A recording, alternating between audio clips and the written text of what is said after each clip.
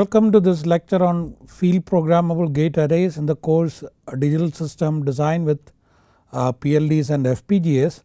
In the last lecture we have looked at the Virtex Xilinx Virtex uh, configurable logic blocks and we have looked at the lookup tables how that can be combined then we have looked at the flip flops and we started with the carry chain or the carry logic. So we will continue with that we will continue looking at the carry logic uh, the flip flops and something with the, the clocking and all that uh, in today's lecture and uh, uh, so let us uh, briefly look at the, the last lectures portion so that we get some continuity.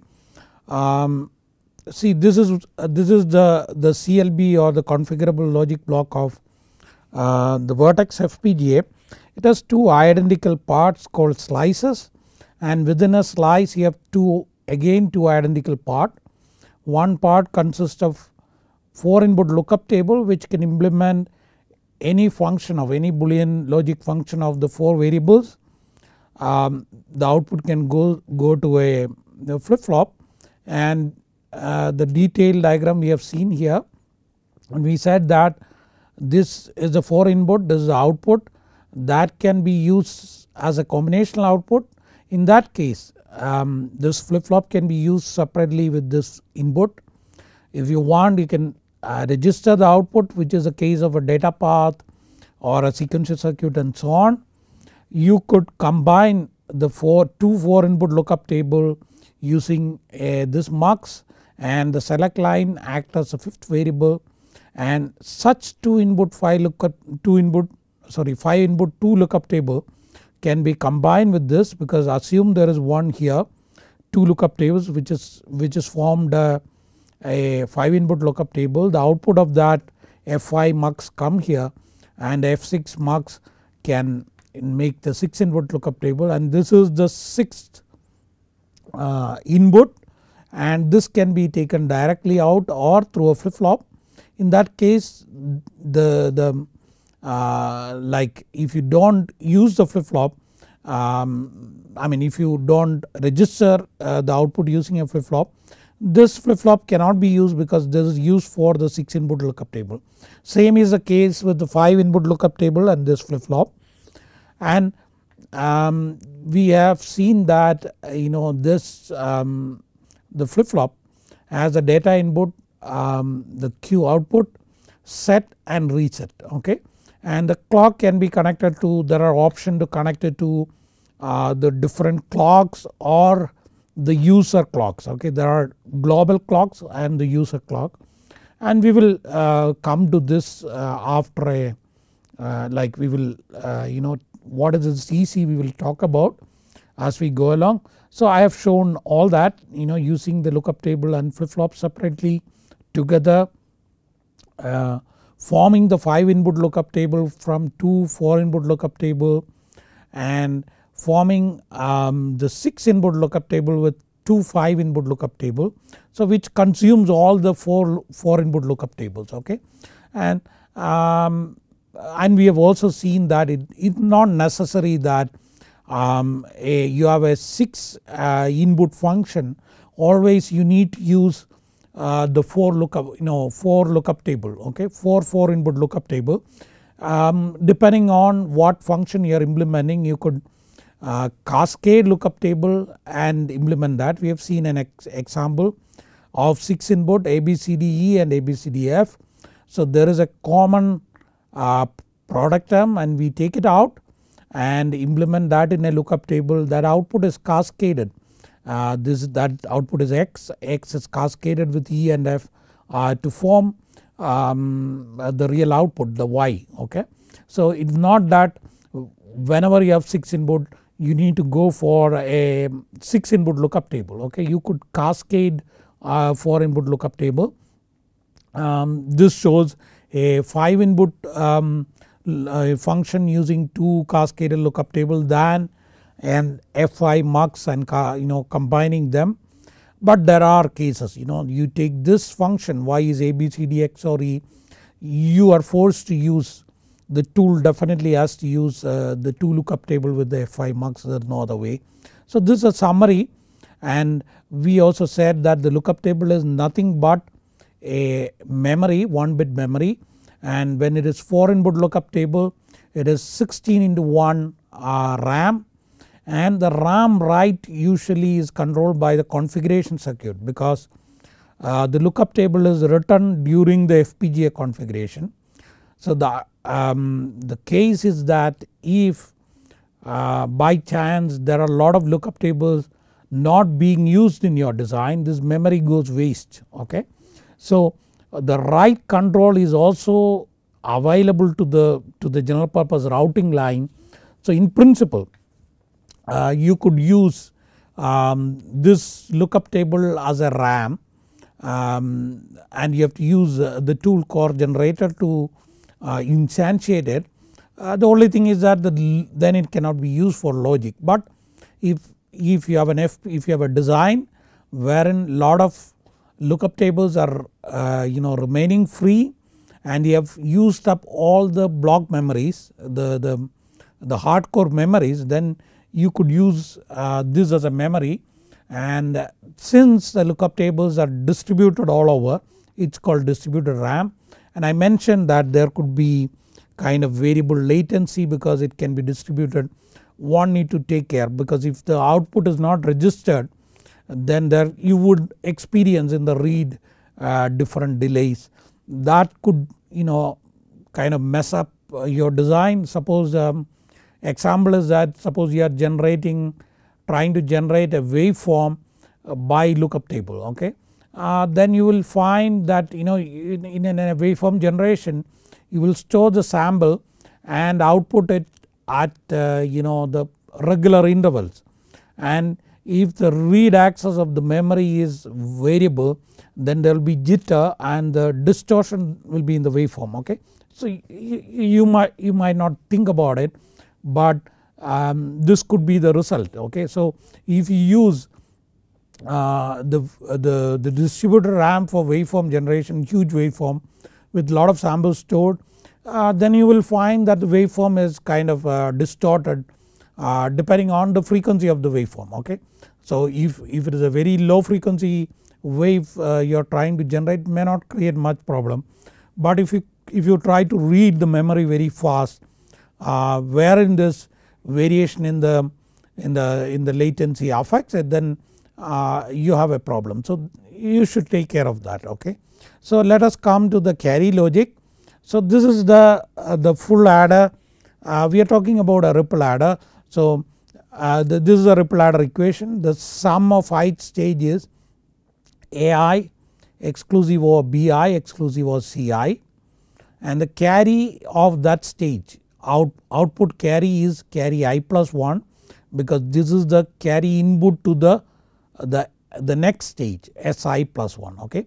And that is AI BI or AI exclusive of BI and CI that means that the carry is generated if both uh, inputs are 1 1 1 then you definitely know that the carry is generated.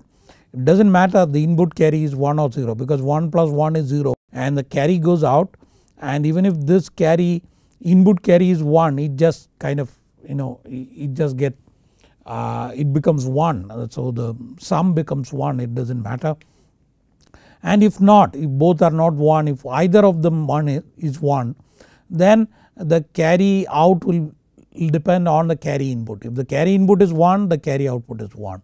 So that is what the equation say. Now if you implement this in FPGA using lookup table you would need one lookup table for SI, one lookup table for CI plus 1 because lookup table has only one output. So for a 4 bit um, adder you need 8 lookup table much more than that you know that uh, the CI plus 1 should be kind of using the wires should be connected to the input of the next stage okay. So all lot of wiring is required and this will slow down the adder okay. Now if adder is slow the multiplier will be slow and so on all the arithmetic operation will slow down if the adder is slow. So this happens because there is interconnection between the adder stages.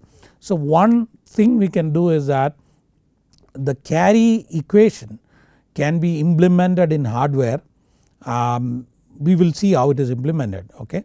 That then can propagate uh, like CI there is a dedicated hardware along with this SI um, stage and the CI plus 1 go to the next stage without not through the programmable interconnection matrix or the programmable uh, switches it directly goes by the wire. So that is how it is speeded up. So I think we have just started describing it in the last class. So this equation is implemented here you know in this uh, lookup table and um, this mux okay that is what it does. So we will see that in the in the real CLB but before going there so this is the lookup table a 4 input lookup table. What is done for AI BI is that AI and BI is, is connected here mind you the CI is not connected here it is not that you do you implement the sum by AI exclusive or BI exclusive or CI in a lookup table it is not done because um, you see the, the trick is that you see AI exclusive of BI is common to uh, the sum and the carry okay. So the idea is to implement this common thing in a lookup table so that is one done here. So you connect AI BI implement XOR of AI BI and now this mux will form the carry this XOR will form the sum okay. So these are kind of dedicated uh, circuit. So this will form the AI exclusive of BI and you can that see that it is coming here combining with the CI from the which is coming out of the previous stage. So this XOR form AI exclusive of BI exclusive of CI and the sum comes there okay and that can go out directly or can go to a flip flop. Now you see this the AI exclusive of BI is a select line of this mux okay. So if it is 1 assume it is 1 then you see the Ci so that this is the path. So Ci plus 1 equal to Ci that is what is this equation saying. So if this is 1 then the Ci plus 1 is Ci okay. So if either of the bit is 1 the carry depends on the input carry. So if the carry input is 0 then the carry output is 0 if carry input is 1 carry output is 0.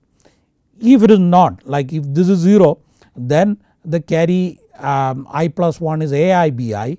So you can see that if it is 0 this path is selected. Now there are two possibilities if this is not you know either of them is not 1 then there are only two possibilities. Both can be 0 or both can be 1 okay. So it is enough that you do not have to do an AND. You just pick up AI and connect it here.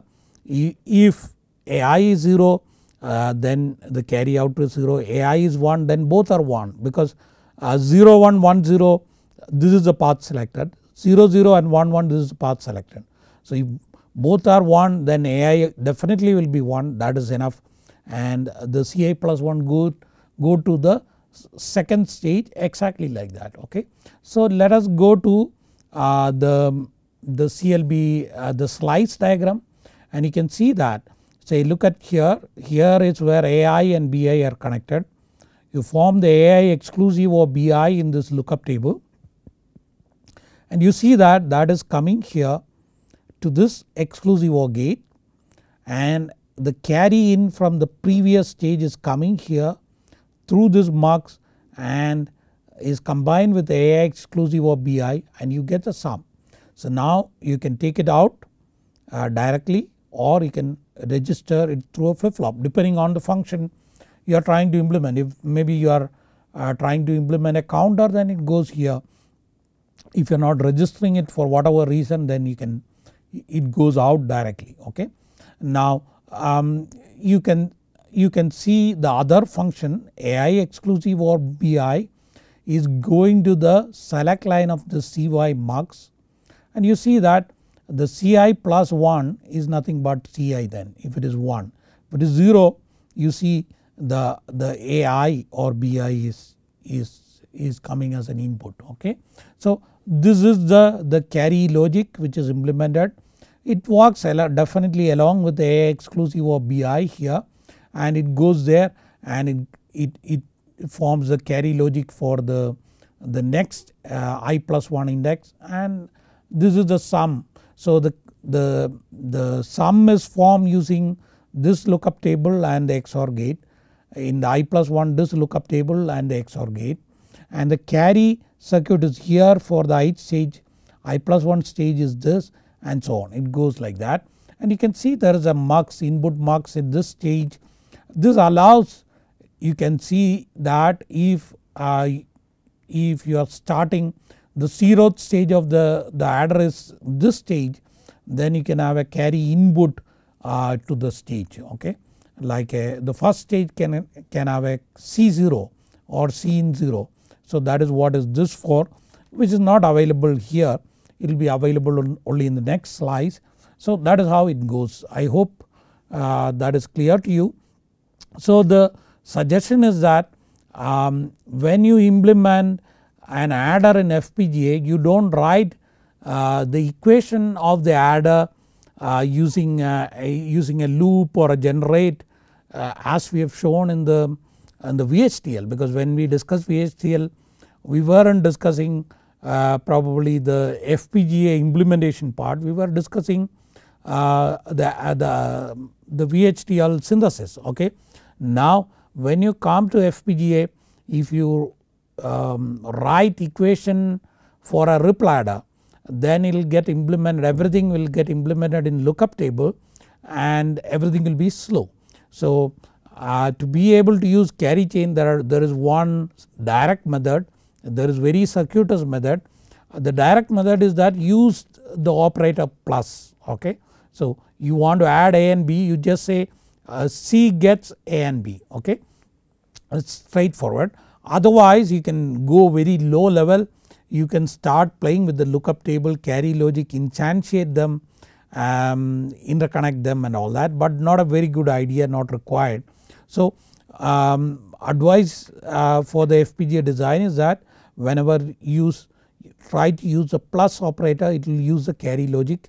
When you uh, use a counter and higher level function somewhere this plus will appear. You say count gets count plus 1 you know we have seen that in our example. Then automatically the carry logic will be used. And there is an AND gate which is shown earlier which is used for the partial product implementation in the case of a multiplier. And in some cases the carry chain can be used as for cascading that means that uh, you implement as a uh, suppose the inputs are 4 ABCD then you implement A and B and C and D. Suppose you want to um, AND it with say EFGH there is a way that you know it comes here and uh, in this kind of circuit and that get ANDed here and you can take the output okay. So not all the FPGAs at least not in the Virtex but then there are FPGAs where uh, this AND cascading or OR cascading can be done and you can think about it it's very easy with a uh, with a multiplexer uh, kind of scheme it is very easy okay.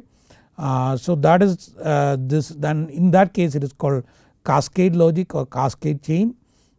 So let us let us come to the to the flip flop now this part um, I want to talk about this EC or it is called enable clock. And when we discuss our uh, initial case study of the CPU we said the controller will control the data path. Many times it will control a enable a register or a counter or things like that. Uh, in such cases and we have seen one um, foolproof way of um, implementing that is using a recirculating 2 to 1 mux that um, suppose this is a latch signal from the controller and this is the, the register then what happens is that when the latch is 1 the input gets registered if the latch is 0 that output gets recirculated and there is no timing issue. If you do clock gating there was a timing issue. Since the latch signal is coming from uh, the state machine there will be a delay with respect to the to the clock the TCQ plus TCOM delay. And you can see that this enable signal will come offset to the clock period.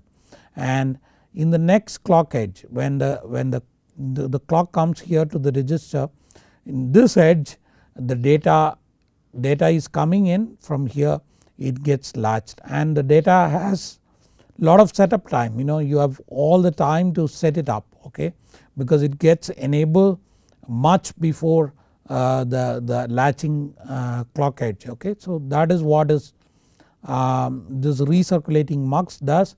Now this recirculating mux is built into the flip flop uh, of the FPGA. So uh, the, the real FPGA flip flop is a is a kind of um, what to say it, it's 2 to 1 mux plus the, F, uh, the flip flop combined okay. So this gets in into the uh, uh to the flip flop and this is uh, you know written as clock enabled. So whenever you see that you assume there is a 2 to 1 mux with this clock enable as a select line which allows you to kind of implement and enable signal. So you look at this VHDL code which say that if clock tick even and clock is equal to 1 then if some control signal is 1 then Q gets D okay.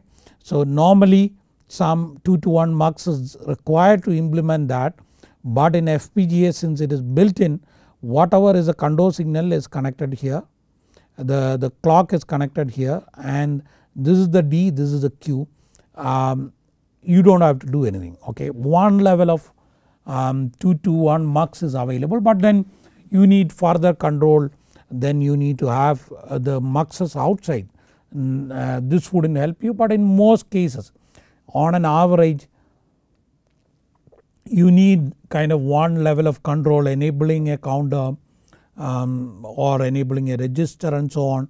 So that is easily implemented uh, using this clock enable and some vendors call it uh, enable clock okay. So some, some, some people clock, call it CE clock enable some people call it EC enable clock kind of to make a make a difference probably between uh, uh, the devices okay or vendors. So now let us see how uh, the, the circuit get mapped to this um, scheme of uh, this kind of um, architecture. So one thing is that suppose you have combination circuit you know that lookup table is used to implement. It can get combined if there are more inputs like 2 4 input to 5 input 2 5 input to 6 input and so on okay and can be further combined or it can be cascaded okay. Uh, so basically when you have uh, a uh, kind of uh, combination circuit will be implemented in one or more lookup table. It could be cascaded it could be uh, combined using muxes whatever it is. But if you have a, um, uh, you know data path okay I have written sequential circuit but then assume it is a data path or a part of a sequential circuit does not matter uh, you have a flip flop uh, through a combination circuit the, the, the, flip flop okay. So the you know there are in the in the the slice or the CLB there are a lot of flip flops all these get implemented in the, the flip flop of the CLB and the flip flop output goes to the combination circuit the combination circuit goes uh, to the flip flop and this get implemented in one or, one or more lookup table. And we have seen in the diagram uh, the, the combination circuit output can be taken to the flip flop okay? And this can come from the, the, the flip flop before okay. So that is how it gets implemented. And if you take an uh, a FSM finite state machine you have um, a logic uh, output goes to flip flop flip flop output is fed back to the logic and some input comes there. So again same thing you know you can implement the look uh, next state logic using lookup table which gets the fed back flip flop through some wires and the input is coming with the wire and the output of next state logic is going to the flip flop and the flip flop output again goes to the output logic. So that if you look here you have the lookup table which is acting as next state logic the output goes to flip flop this output is fed back here to form uh, the feedback and this, this can go to the next stage lookup table to implement the output logic. So that is how uh, things get implemented um, in FPGA and let us look at the IO block okay. So uh, we have seen that all around the FPGA are IO, IO pin uh, you know attached to IO pin is an IO block okay. So uh, the star of IO block or the main um, element which implement this IO functionality is this tri-state gate okay. So when that there is an enable when there is enable it acts as an output when it is cut off it acts as an input. So there are essentially 3 paths one is uh, so this is uh, an IO pin and you can assume the FPGA wires are here to which all these signals can be connected. So there are 3 paths one is from these wires internal wires to the output pin from the output pin to the wires inside the FPGA like this and there is an enable signal which is also controlled by the wire okay. So 3 path output, input and the, the enable path.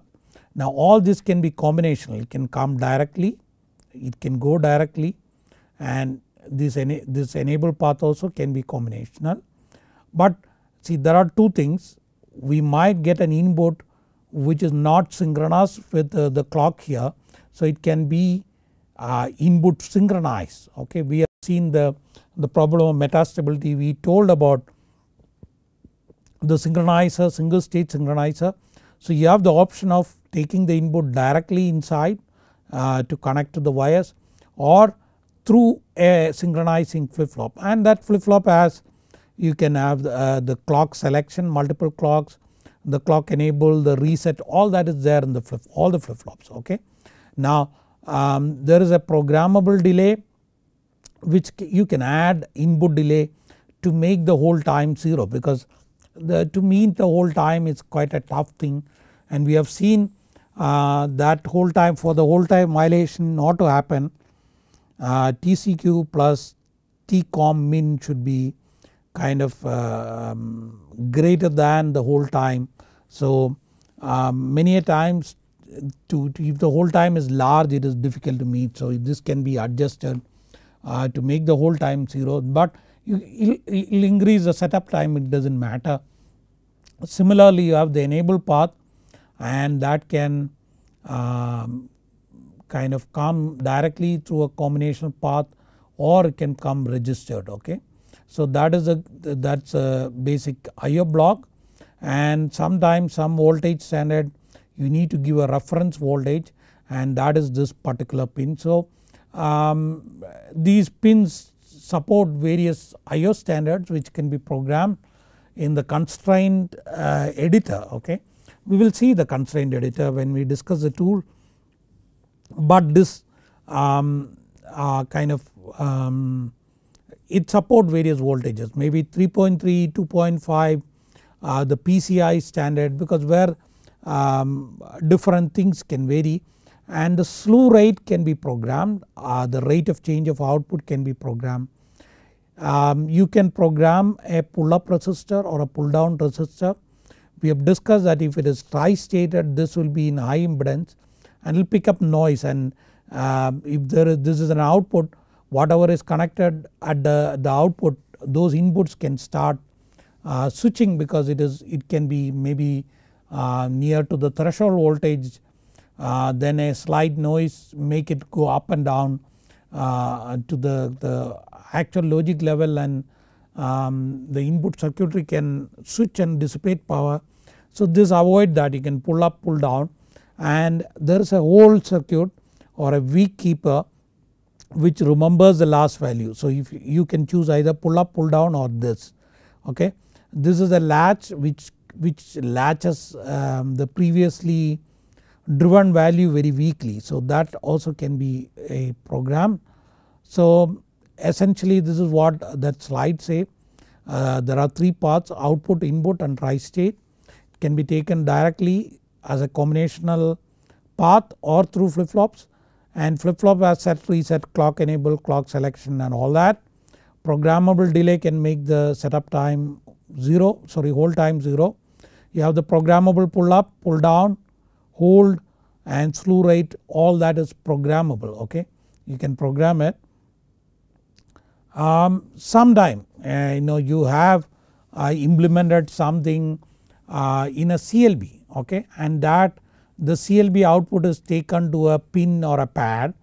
Um, so the what the tool does is that it will move that flip flop okay um, um, to the to the IO block because it is very very nice to have uh, the, the last uh, you know latching or registering at this point because if it is somewhere inside a CLB then again you have to take the wires that will add lot of wire delay and which may create timing problem with the following following you know the circuit following logic okay. So many times uh, it is a wise idea to, to register the output before leave the pin because that goes with the minimum delay. So after the clock edge there is a TCQ delay so there will be less timing problem, problem for the input okay. Uh, whichever circuit is using this output as an input will have less problem. Similarly like we have the input uh, which if it is asynchronous we can synchronize. Similarly if everything is synchronized this tri-state enable also can be synchronized. And it support various um, IO standards um, CMOS 3.3, 2.5, 1.8 and all that. And all the time there will be um, kind of core supply which supply to the to the internal and the IO block supply. Because the core can work at a low voltage resulting in low power dissipation. And when it comes to the IO pins uh, this can be scaled up because if, if the swing is more there will be more participation. And so the many times uh, the most recent chips not only FPGA uh, the core will work at a low voltage near 1 volt. And when it comes to the pin it is scaled up to 2.5 or 3.3 volt. So that is done in FPGA 2 and this is the hold circuit. Suppose you have a bus and if you program the hold circuit to the bus then what happens is that suppose the bus is driven 1 then what happens? Uh, this 1 is latch here and 1 comes here this becomes 0 this 0 will become 1 and it gets latch. But if you put a normal latch then this inverter will drive that bus very strongly. And if somebody uh, some other output is driving it to 0 and if this is driving it 1 there will be a short circuit. So that is why a high resistance is kept here which will weakly drive the bus and hold on to the, the previously driven value very weakly. Very weakly means that since it is through a resistor some other output can pull it down okay make it 0 and since there is a high impedance nothing happens otherwise there will be a short circuit. So that is what the, the purpose of the hold circuit which remembers uh, the last value on the which keeps hold on to the last value of the bus and thus avoid the glitches and switching unnecessary switching which is dissipating power and create noise and so on okay. And uh, this is the, uh, the view of the, the um, internal wiring uh, structure you have lot of wires there is a huge switch here which connects all vertical horizontal wires together and the input to the CLB is from here but in Virtex CLB there are connection from this switch directly to the CLB okay. So that is what is shown here this is that switch which connects to the adjacent switches. So this is that switch here and this is the logic block. So this is the logic block here. What it shows is that that switch has direct connection to the CLB okay and the CLB output is fed back to the CLB input. So it need not go through the general wires okay. So it is not that the CLB output is directly taken here suppose it has to be taken to the input it need not go like this come all the way back and from here okay. It can directly uh, go to the input and it also shows that uh, if you have adjacent CLB it is directly connected. So there is a CLB here that there are some output going to the input of this CLB or similarly some output from CLB is coming to the input of CLB. So there are no programmable interconnections. So it is very fast you know the, the, the interface between the adjacent CLB is very fast okay. That makes if things are close together uh, the delay between them is very minimal okay. So these are kind of some statistics of the, the Virtex uh, routing wires. The adjacent CLBs are directly connected. There were there are 24 single length line. So it means that uh, you take a switch like this, switch like this between the switches here there are 24 wires okay. Between these switches there are 24 wires, between these switches there are 24 wires. And you have 72 buffered hex line that means from one CLB to the, um, the 6 CLB. So from here to the 6 CLB there are single wire running okay. So that, that makes um, uh, the lowest very large you know lengthy connections uh, less costly otherwise if it's single length wire it needs lot of interconnection to reach the, the destination and it will all add to the delay but this will reduce the delay from uh, the first stage to the sixth stage okay. And there are 12 buffered long line that means there are lines running from one end of the chip to the other end of the chip okay and not only horizontally but vertically also okay. So per channel there will be 4 tri-state line both horizontal and vertical and um, those uh, there are separate line um, which can uh, form tri-state line or busing. So every CLB has 2 output through a tri-state gate which is connected to some 4 common wires in some fashion. So essentially and the um, 2 output is connected to the 2 2 wires. So you can form a bus using this tri-state gate uh, as the output of the, the, the, CLB that is possible. So let us um, now ask having learned all the architecture we have looked at basically the architecture of the, the CLB we have understood how uh, that is interconnected and so on. So let us uh, just try to estimate some resource requirement. So my question is that say we have a finite state machine um, it has 2 inputs okay external input it has 3 states and 2 Mealy output uh, how many CLBs you require in a Virtex FPGA to fit this uh, finite state machine that is a question okay. So if you look at uh, the finite state machine you have an XADE logic which um, decode the present state and the input okay. So we have to look at uh, to decide how many lookup tables this will combine uh, this, this require uh, we need to have we need to know how many uh, flip flops are there and how many inputs are there okay. Similarly um, uh, you have to determine the number of flip flops required and you should remember that next state logic uh, uh, is required for each flip flop. If there are 4 flip flops here then there is a, a Q, Q3, Q2, Q1, Q0. So there will be D3, D2, D1, D0 and the next state logic should give 4 output to connect to D3, D2, D1, D0 okay. So let us work out uh, the this requirement and this requirement okay for this case and we know that uh, the, the Virtex CLB has 4 input lookup table and a flip flop and such 4 of them okay. So we have uh, sorry um, this was example we have a finite state machine with 3 state so it require 2 flip flop to implement in a binary encoding. So the next state logic has 2 inputs and the present state which is 2, 2 cues from the current flip flop. So the next state logic will have input 2 state variable the, the present state and 2 inputs so that is all. So 4 input.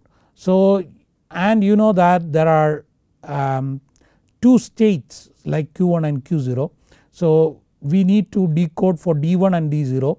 So there are um, 2 4 input lookup tables are required okay because one 4 input lookup table is required for one um, one bit and so you have you require 2 4 input lookup tables for the next state logic and when it comes to output logic we have a Mealy output Mealy output and that decode the present state and I have not shown but the input also okay. So there are 2 flip flops 2 inputs so there are 4 input output logic and um, that occupies 4 input um, uh, logic will require a 4 input lookup table. So um, that is shown here that is you have output logic as 2 input uh, because we say 2 input and 2 state variables because there are 3 states and Q1 and Q0. So uh, you require a 4 input uh, lookup table for output but we have 2 outputs so you need 2 4 input lookup tables. So we need 2 lookup table for next state logic, 2 lookup 2 flip flop for state variable and 2 lookup table for output logic. So if you look at there are 4, um, 4 input lookup table and 2 flip flops and in a CLB we know that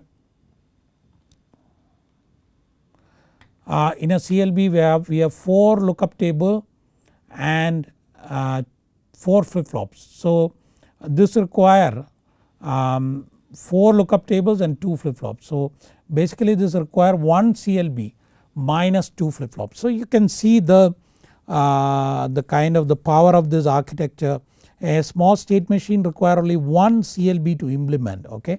Similarly let us take an example of an 8 bit counter with parallel load feature that means a normal 8 bit counter with a reset and also it has a synchronous load okay. We have seen the, the circuit of this counter so um, we if you look at it you have the, the 8 bit 8 uh, Q7 to Q0 flip flop and that is incremented and given it here. There are uh, for parallel load they have to have a um, kind of load signal and the data in signal okay that is that is required. So for each flip flop if you take uh, there will be uh, kind of 8 uh, things fed back uh, and um, you have the, the load and the data in and all that okay. So we come to this uh, 8 bit counter you need 8 flip flops. Uh, now the incrementer can use carry chain so essentially we need we need only 8 lookup tables and this carry chain will implement the plus 1 okay because you know that you can have an think of an adder with the carry input as 1 then will implement the plus 1 and that can go, go to the to the flip flops here. But so you have the input suppose uh, whatever is a Q will come here and the carry chain will use it as an incrementer uh, with a plus 1 this Bx will be 1 and uh, that will add 1 to everything. You do not need uh, need to give a plus 1 at the input of the lookup table but this can be used for plus 1. So that, that is how the counter get implemented not only that we need a load feature and a data input so that you know that now the load can be given here and the data in for that corresponding variable can be given here. Still we need only a 3 input lookup table but there is 4 input lookup table. So that is enough uh, to implement the incrementer plus uh, the multiplexer for uh, multiplexing the, the input value okay. So um, essentially we require 8 flip flops 8 lookup table with a carry chain okay. So that is what is required you have 8 flip flops incrementer use carry chain next state logic will use one state variable for plus 1 and one load signal and one data input signal for loading. So 3 input per state so NSL next state logic require a 3 input lookup table. So we have we need such 8 for 8 flip flops. So 8 lookup tables 8 flip flops. So there are you, you will end up with 2 CLB or 4 slices okay. So you can if you have a circuit if you know what is inside a circuit you can estimate how many uh, how much resource is required to implement that circuit okay knowing the logic um, lookup table. So as I said we are discussing uh, the Virtex um, architecture uh, the Virtex chip is not available now. The, the higher uh, the recent version of the Virtex is there Virtex 5, Virtex 6, Virtex 7 uh, different versions. Now uh, you can you can look at and you have the Spartan 3 uh, Spartan 3 has a similar architecture as a Virtex but Spartan 6 which is quite different uh, and um, so all these you know now you can go back uh, look at the, the architecture of the CLB and you can understand the functionality you can given a code given a spec you can estimate how much uh, how much lookup table how much flip flops are required to implement this functionality okay. So that is uh, that can be easily done. So we will take one more kind of example what I do is that I will give a VHDL code and let us see how that VHDL code gets implemented within uh, the, the CLB the logic block using slices okay. So this is the, the library and the package declaration. This is the entity declaration very simple entity A B C D E F G H. So you have 8 input 1 output it is a combination logic. The architecture you write uh, a process which is sensitive to A and B begin if A is 1 then Z is 0. So it looks like a reset A is a reset Z is an output else if B tick and B is equal to 1. So we know that B is clock, A is reset, Z is output. Underneath we say if C is 1 then Z is D and E and F and G X or H okay. So we again know that when you say under this if C is 1 it is a control signal okay. So this can go to the clock enable because that can enable the recirculating mux and Z is uh, the and 4 variable XOR the 5th variable. And we have seen we have discussed this in the last lecture. You need um, you cannot cascade 2 lookup table. You need to combine 2 lookup table with an F5 mux to implement this because this is a bar and this or uh, this as it is and H bar okay. So that is how the equation comes. Then you need uh, 5 input lookup table. So that is uh, the essence of the circuit. I have not shown the synthesized circuit because it is easy to uh, imagine. A is the reset, B is the clock, C is the enable clock, Z is the output. This gets implemented in, in a 5 input lookup table. So let us come to the uh, to the um, the slice diagram. So we need to combine two 4 input lookup table using the F5 mux okay. So D and E and F and G are common so you see D E F G is connected through the wire to the, the top lookup table same D E F G is connected to the second lookup table and that is you can see the output is going to F5 mux the select line is a 5th variable which is H so our logic gets implemented here okay. So that is what is the logic here that goes to the D of the flip flop. Now we have to implement the C that is nothing but so this Fi output has to go to the flip flop here. So you can see that this take through this mux through this mux it comes to the flip flop and you see the enable clock is connected to the to the C because that is a control signal as the code suggests. Now B is the clock and you can see uh, the clock is this pin and that goes to the B okay. So assume that there are wires uh, before the lookup table in the channel and this is these are connected to the wires there using some switch there okay.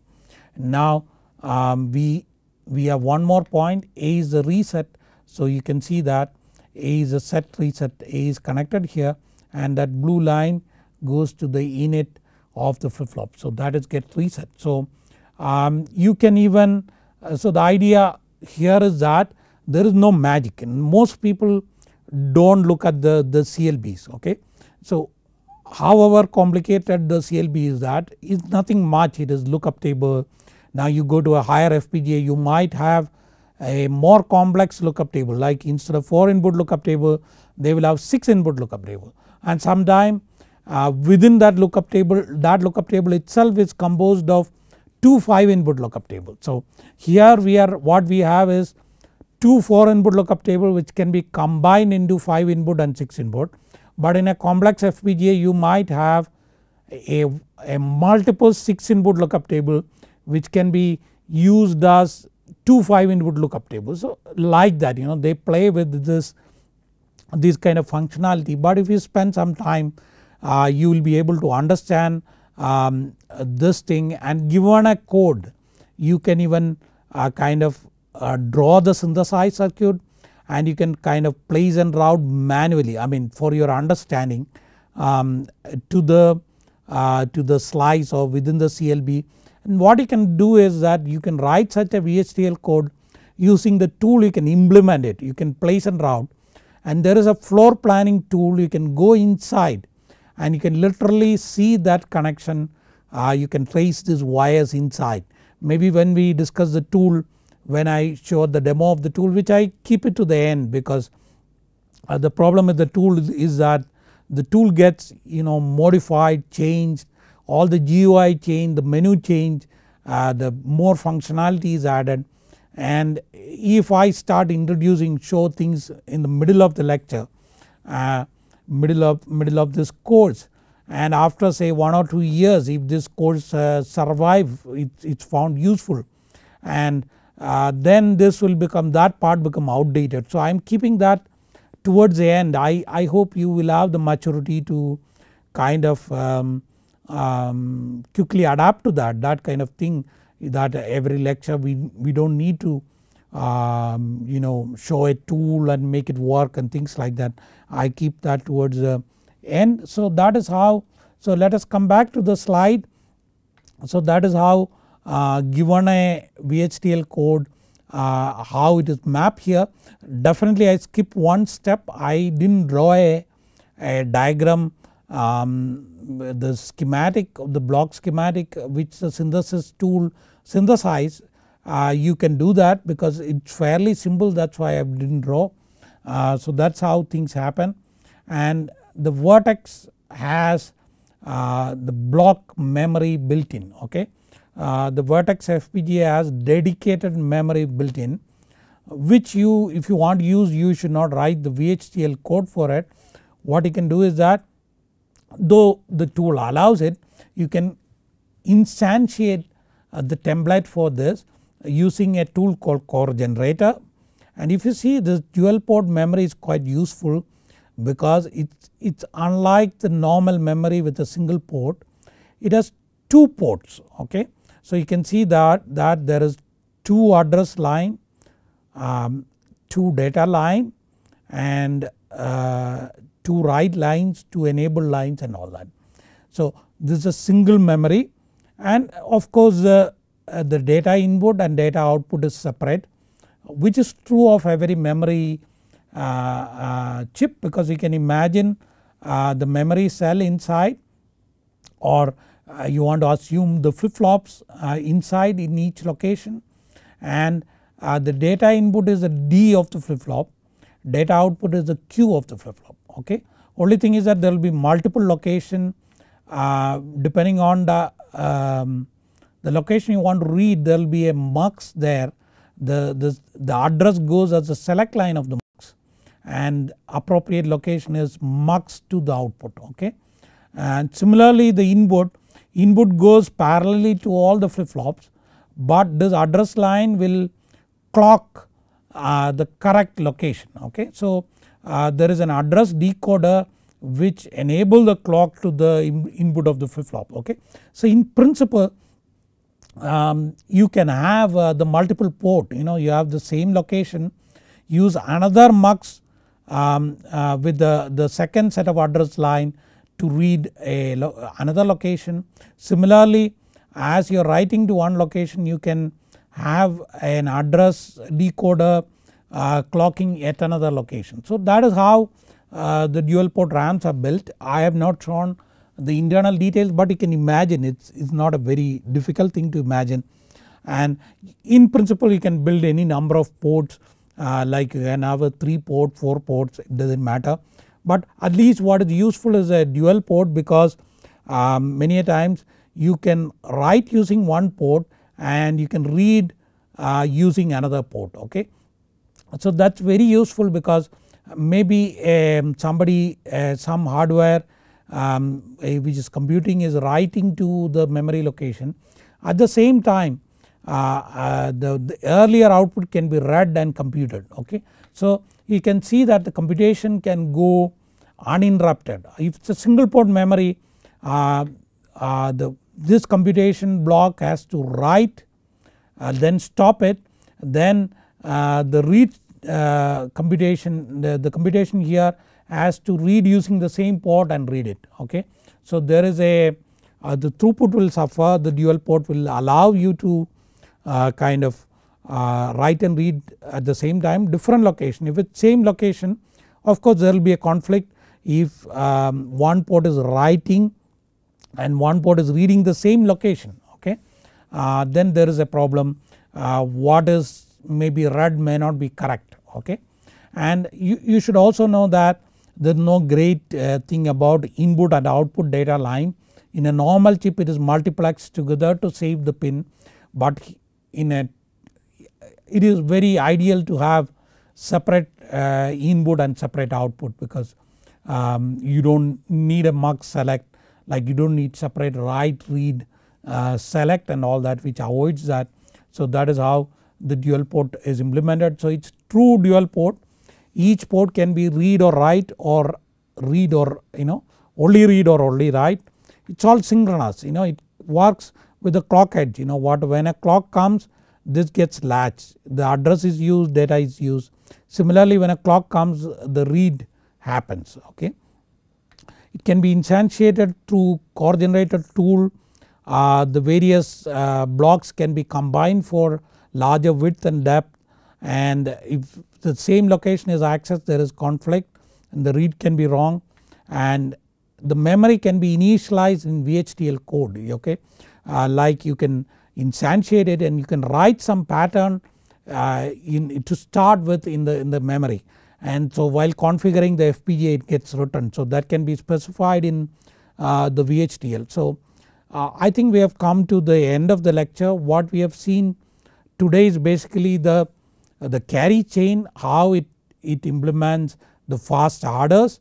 Uh, then we have looked at um, uh, how the, the sequential circuit the FSM gets mapped into the basically uh, uh, you know to the CLB we have seen the IO block, we have seen the hold circuit, we have seen the little bit the tri bus line and we have seen some example of fitting uh, an uh, FSM counter and given a VHDL code how to even trace the, the routing within a CLB and we have seen the, the block memory usage okay. So um, we will wind up here we will look uh, go ahead with the, uh, the configuration of the FPGA in the next lecture. So I wish you all the best and thank you.